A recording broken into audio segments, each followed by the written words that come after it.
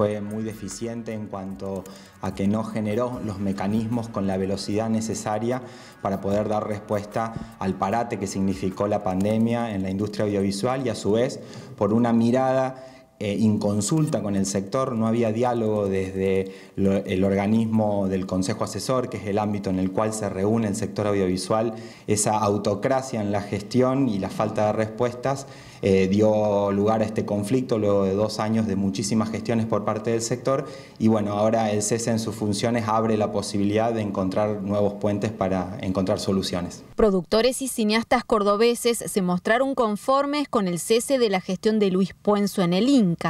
Hay gran preocupación en la industria por el fin del fondo de fomento que caduca en diciembre, poniendo en peligro a las producciones nacionales de no mediar una ley en el Congreso, lo que va a ocurrir es que, eh, por ejemplo, el 10% que se le cobra a cada entrada de cine o los impuestos que recauda la ENACOM sobre las televisoras, sobre la producción publicitaria que tienen los canales de televisión y que es un fondo, en definitiva, que conceptualmente genera la propia actividad audiovisual y va a financiar la propia actividad audiovisual, vaya a rentas generales. Básicamente significa que se acabe la financiación no solamente del cine, sino también del Instituto Nacional del Teatro, del Instituto Nacional de la Música, de las bibliotecas populares, y no es que se eliminan impuestos, sino que se les quita esa asignación específica y pasa a la libre decisión de la gestión de turno. ¿Corre peligro eh, el cine nacional sin este fondo de fomento que caduca en diciembre?